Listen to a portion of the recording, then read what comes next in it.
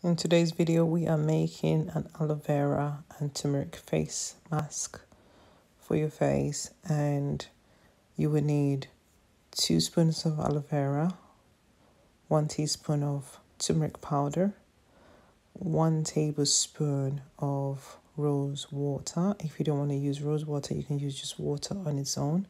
Rose water is also very good for the skin as well. It tightens the skin and it's just beneficial for the face in general. And same with aloe vera, which is also an anti-inflammatory as well.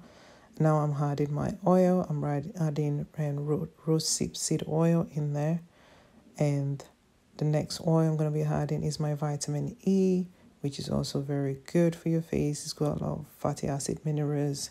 Same with rose seed oil as well. And then frankincense oil, which are also very, very good for the skin. So I'll be putting the benefit in the description below and also the ingredients as well. Once you've added your oil, mix it very, very well. And then you can add your aloe vera into the mixture. Mix it well together and just make sure that everything incorporates very, very well together. Just to emphasize that without preservation, this is only going to last you for five days.